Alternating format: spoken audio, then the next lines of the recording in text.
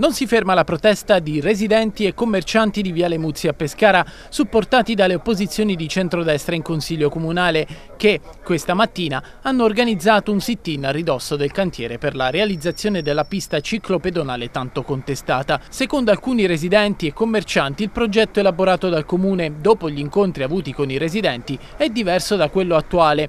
Questa invece è la proposta avanzata, una pista ciclabile a senso unico che non tolga i parcheggi per i residenti e per il commercio lungo Viale Muzzi. Almeno fare il senso unico e recuperare una carreggiata per parcheggiare. Sarebbe da un lato.